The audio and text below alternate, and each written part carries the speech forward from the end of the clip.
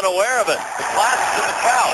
Play going on, and finally, the referee, Mick McClure, blows the play dead, and now a fight breaks out in the corner. All of this going on while the crew jumps on the ice to fix the broken glass. You know these Blackhawks are going to be sticking up for each other. We talked about how Dirk Graham was tough on his team when no one came to the aid of defenseman Brad Brown. Andy Sutton, I think, was trying to get back at Todd White. The glass. There's White with the big hit. And there you see it come popping out.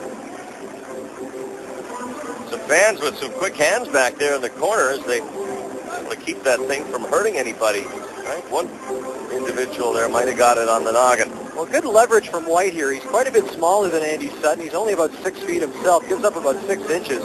You see him use his upper body to really throw Sutton into that glass, and